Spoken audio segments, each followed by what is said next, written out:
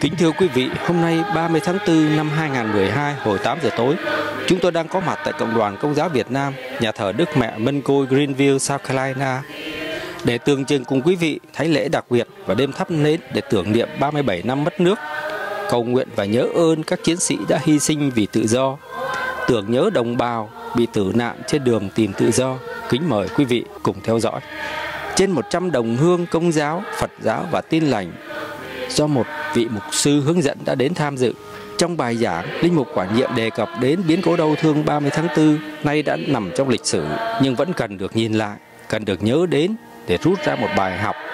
để làm sao không còn xảy ra trong tương lai. Bao nhiêu khổ đau, bao nhiêu chết chóc hy sinh để chúng ta đến được bến bờ tự do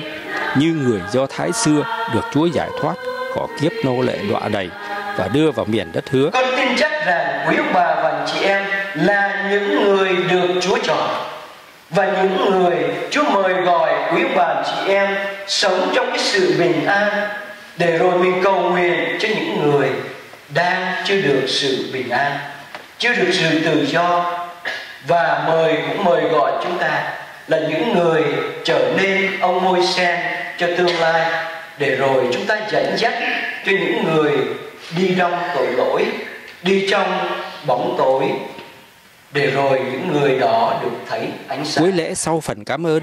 vị đại diện cộng đoàn trích đọc một đoạn trong thông điệp tưởng niệm 30 tháng 4 của Đức Giám mục Nguyễn Văn Long từ Hãy liên Châu. kết thành sức mạnh để phá tan xiềng xích của sự bạo tàn, dối trá và gian ác